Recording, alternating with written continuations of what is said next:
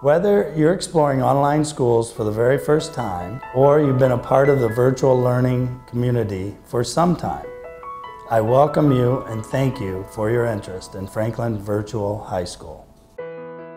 We are very proud of our programs, our team, our students, and especially our graduates.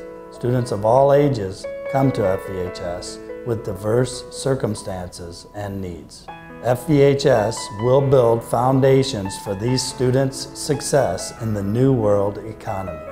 While our credentials, such as SACS accreditation, speak for themselves, I am confident you will experience unparalleled responsiveness, even passion for student success from each FVHS team member you interact with.